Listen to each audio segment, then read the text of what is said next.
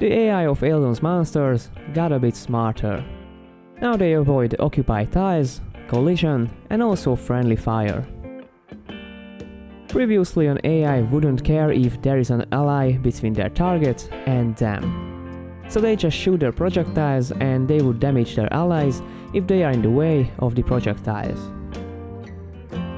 And also if another AI was in their path, they just couldn't handle it and started pushing them. But now when an AI is deciding a target's visibility, allies are also taken into consideration. And tiles with solid objects on them are considered occupied, so they will avoid them.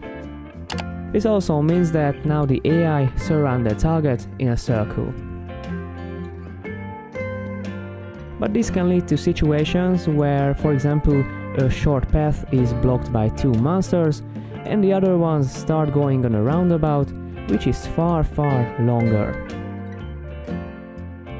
In these cases, enemies instead will queue up behind the blockade, just as expected. And if there will be some movable objects instead of the monsters, like for example barrels, the monsters in the back would just push through them. There are also minor improvements like changing the direction of moving is not instant. Instead creatures now turn progressively. And previously when there wasn't a path to the target's location, the game went into an endless loop trying to find a path. Now the AI just waits for you to be approachable again. They also follow you endlessly, but now if you get far enough, they will lose interest. And besides these improvements to the AI, I also optimized the corridor generation and also made some new, simple but handy benchmarking tools. By the way, these improvements were done just before LD46 in April, after my thesis was finished. But I didn't have time to make a video about it because soon I started working on my puzzle game called Regrowth which is going to be released in January or February. And now, thanks to having multiple projects, I can easily avoid burning out from regrowth by just switching back to Aeldun for a few weeks before I would finally start finishing it.